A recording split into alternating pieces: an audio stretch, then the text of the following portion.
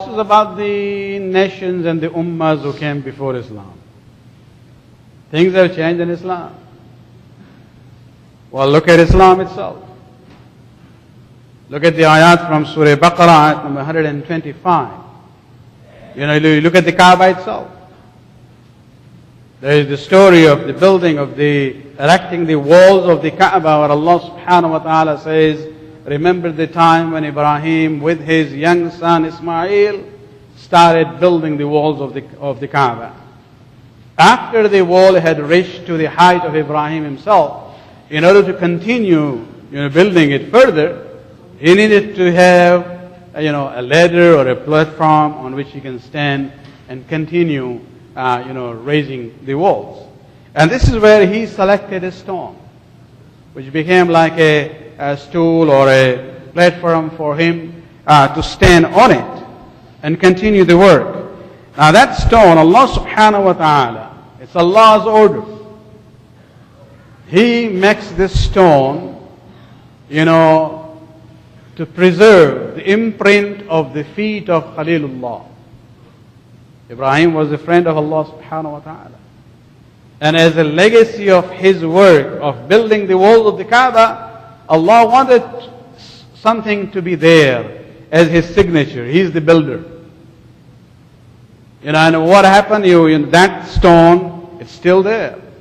It has the imprint of the feet of Ibrahim alayhi salam. Now Islam came, the Kaaba itself had um, 300 idols within it. And when Muslims, uh, you know, conquered the city of Mecca, they destroyed all the idols, purified the Kaaba. But then when it came to Maqam Ibrahim, Rasulullah didn't say, you know, throw this or shatter this. No, he allowed it to be there in the proximity of the Kaaba. And not only that, you look at the ayat of Quran, Allah subhanahu wa ta'ala, when He says that I have وَجَعَلْنَا الْبَيْتَ مَثَابَةً لِلنَّاسِ وَأَمْنًا We have appointed Mecca to be a destination for the people and a place of security and peace for them. وَاتَّخَذُوا وَاتَّخِذُوا مِن مَقَامِ إِبْرَاهِيمَ مُصَلَّى Then He is ordering the Muslims. He says, and consider the Maqam Ibrahim, you know, to be a place of musalla, a place to do salah. And that is where we do after the tawaf. What do we do? Two rakat namaz, by or behind, on the sides of the Maqam Ibrahim or behind Maqam Ibrahim. You know, this to an, uh, to an outsider who knows nothing about Islam, he might consider that to be worshipping that stone. But Islam still allowed it. And this is where we come to realize that this is not even grave of Ibrahim.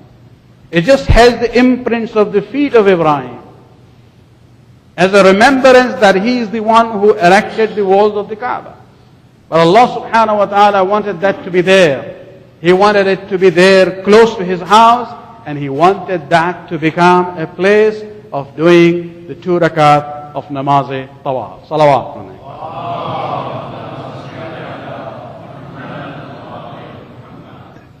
and so even when you look at the, the, the, system that we have now in Hajj, you know, there's no way of saying that, you know, these kinds of showing respect to the signs and historical sites of Anbiya or Mursaleen is against the values of Islam. We see here in the example.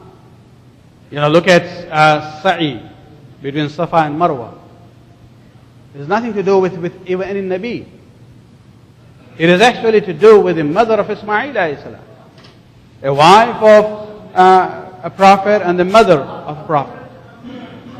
You know the way you you know the story that when Ibrahim salam was being tested by Allah subhanahu wa ta'ala and he was told to leave his infant child and uh, and the mother there with whatever provision that he could carry with him. Once she ran out of water, she goes looking for water for the baby. And that's where when she goes to Safa, it was, you know, sun, sunny day. She saw mirage on the other side. She thought it's water there. She runs towards Marwa. In Marwa, she looks again the other side. There she realized there's no water there. She looks at Safa and she saw the Miraj again. She goes to Safa seven times. And this is where I would say that if it was the father who was being put in that test and trial, he would only go once and not go against because he, he works by his mind.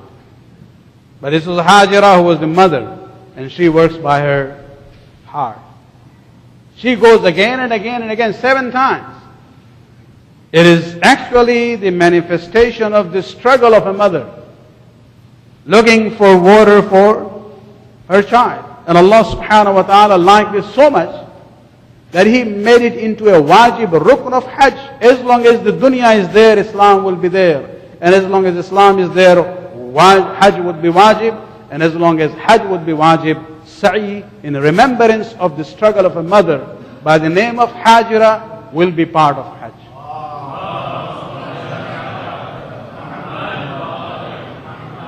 So ask these Wahhabis, you know, what are we doing there?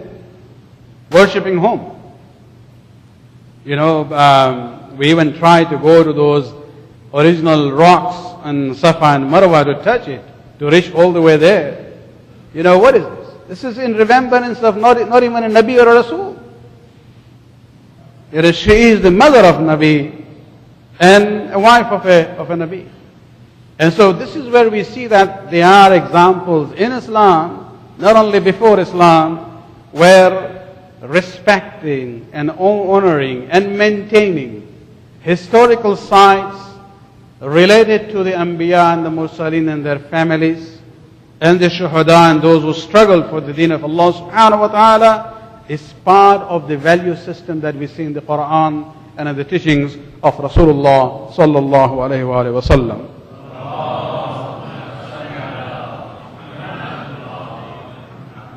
You know, look at the Kaaba itself. That Islam which is so, you know, uh, strict on the issue of Tawheed.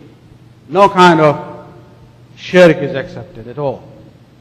Even Rasulullah is being told there is an ayat addressed singularly to him.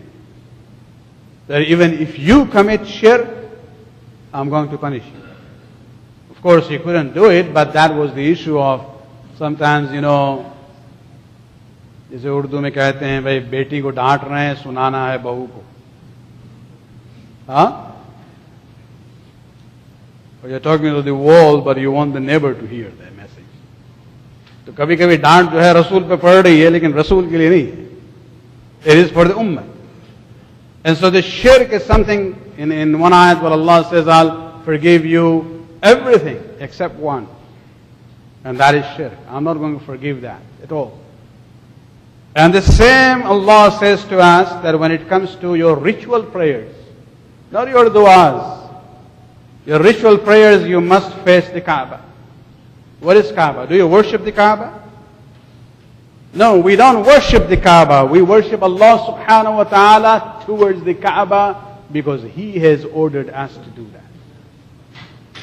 And that is, that is what we have to understand that, you know, there is a lot of room for symbolism in the deen of Islam and the problem that we have with the Wahhabis is their narrow-minded way of looking at things, you know, not opening their minds when it comes to the uh, rationale and understanding of the rituals of Hajj as well as the ayat of Quran about the ummahs which had passed uh, before us. Salawat.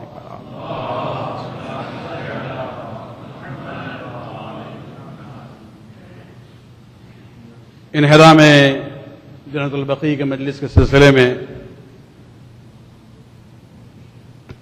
آج کل جو حالات ہو رہے ہیں اور بہت ہی تیزی کے ساتھ مکہ اور مدینہ میں جو تاریخی مقامات ہیں، اس کو یہ ایکسپینشن اور ڈیولپمنٹ کے نام سے اریز کرتے جا رہے ہیں۔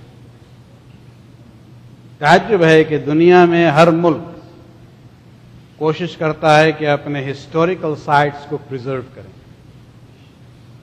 بلکہ کچھ اولڈ بلڈنگز کو بھی جو ہے سٹی آ کے وہاں شرط لگا دیتی ہے کہ آپ انٹرنلی جو کچھ کرنا ہے کریں ایکسٹرنلی آپ کچھ چینج نہیں کر سکتے۔ Because it is a historical place وہ آپ اسٹینمور کو دیکھ لیں لندن انگلینڈ میں یا المہدی سینٹر کو یہاں پکیرنگ میں دیکھ لیں۔ پرانا اسکول تھا۔ They can't do anything دیکھ They can only change it inside, but nothing outside. तो जितनी जिंदा कौम है ना वो कोशिश करते हैं कि अपने माजी को महफूज रखें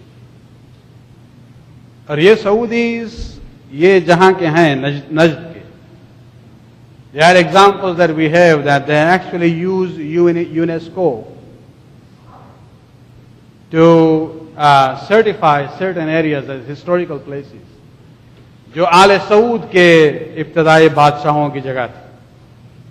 تو اپنے آبا و اجداد کے اس قلعہ کو پرزرو کرنے کے لیے تو آپ سب کچھ کر رہے ہیں۔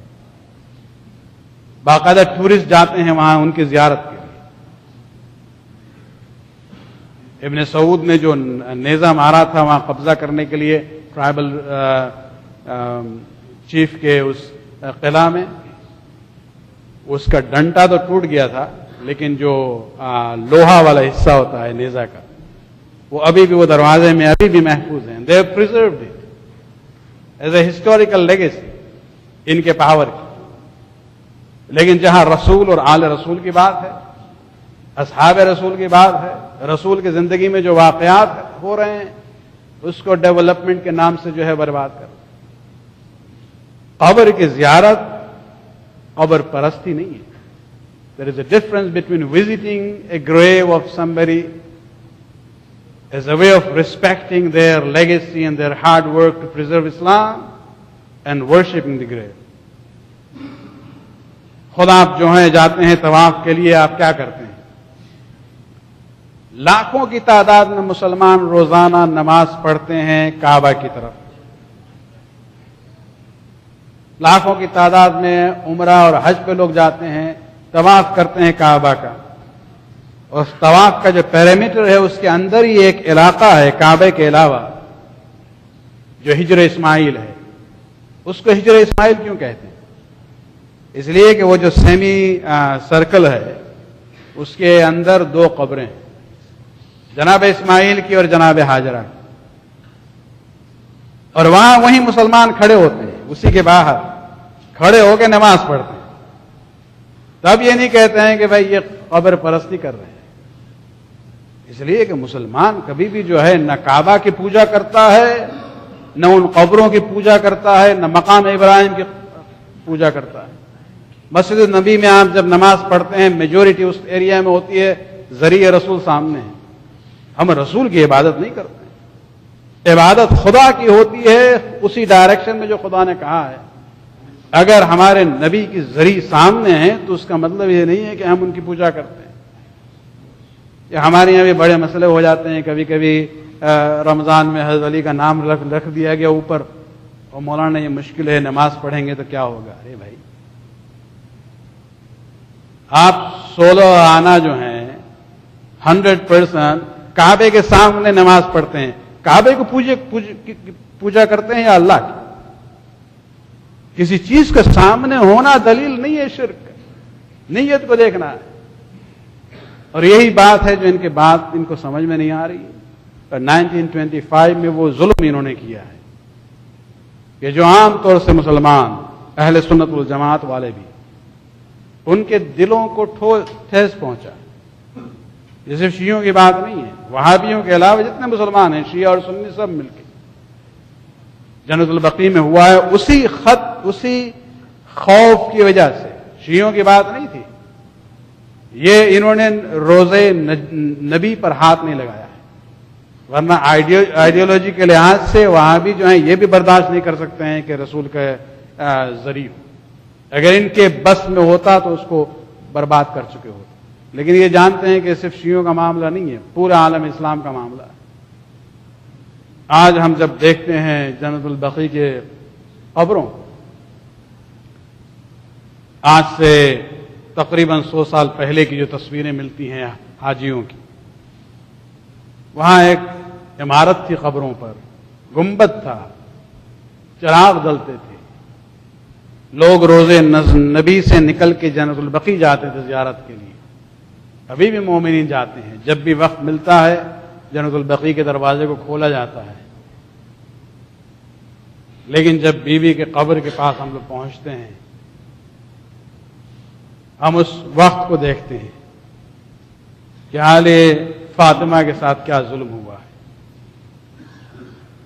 مدینہ سے اتنا دور دور چلے گئے ہیں۔ وطن سے دور شہاد شہید کر دیا گیا ہے لوگوں کو۔ لیکن پھر بھی ہم مشہد کو دیکھتے ہیں۔ یقیناً امام رضا علیہ السلام غریب الغربا ہیں، لیکن ان کے روزے کو دیکھتے ہیں۔ وہاں کے چراغ کو دیکھتے ہیں۔ وہاں کے عظمت کو دیکھتے ہیں، وہاں کی روشنی کو دیکھتے ہیں۔ پھر آپ جاتے ہیں، نجف جاتے ہیں۔ کربلا جاتے ہیں، امام حسین علیہ السلام کی روزے کی رونق کو دیکھتے ہیں۔ سامرہ میں انہدام کیا تھا، لیکن مومنین نے دوبارہ اس کی تعمیر کر لی ہے۔ اس سے بہتر بنایا جو پہلے تھا۔ کاظمین کی اس بارگاہ کو دیکھیں، جہاں شیعہ اور سنی دونوں آتے ہیں، باب الحوائج کے بارگاہ میں اپنے حاجات کی قبولیت کے لیے اللہ کی بارگاہ میں۔ لیکن ہر جگہ روزوں میں چراغ نظر آتا ہے، روشنی نظر آتی ہے۔ اور اے رسول، آپ کے روزے کی زیارت کے لیے ہم جاتے ہیں، وہاں بھی چراغ نظر آتا ہے۔ وہاں اندھیرا نہیں ہوتا ہے۔ لیکن جب اس رسول کے روزے سے نکلنے کے بعد، بس بہت ہی مختصر فاصلے پر، جب اس قبر پر جاتے ہیں، جہاں جا جاتے ہیں، فاطمہ زہرا کی قبر ہے۔ جہاں امام حسن مشتبہ کی قبر ہے۔ جہاں امام زین العابدین کی قبر ہے۔ جہاں امام محمد باقر علیہ السلام کی قبر ہے۔ جہاں امام جعفر صادق علیہ السلام کی قبر ہے۔ وہاں پر، وہاں کچھ سے آئے پتھروں کے اور کچھ نظر نہیں آتا ہے۔ اور قریب بھی اگر جانا چاہیں تو ظالم ظلم کرتے ہیں۔ بس امام زمانہ سے اتنا ہی کہیں گے۔ کہ مولا آپ مدد فرمائے، آپ کے بابا کی بارگاہ تو دوبارہ تعمیر ہو چکی ہے، لیکن اس دن کے انتظار ہے کہ آپ کا ظہور بھی ہو اور آپ کے جدہ کا یہ مقبرہ جو ہے دوبارہ شان و شوکت کے ساتھ تعمیر ہو۔ ربنا آتنا في الدنيا حسنة وفي الاخرت حسن وقنا باب النار۔ ولعنة اللہ علی القوم الظالمین خدا بند اس قلق قلب قبول فرما۔ ہمارے گناہوں کو بخش دے۔ हमारे तोफ़ीक़ात में इजाफा फरमा इमाम के जहूर में ताजिल फरमा रब्बना तकब्बल मिन्ना इन्नका अंतस समीउल अलीम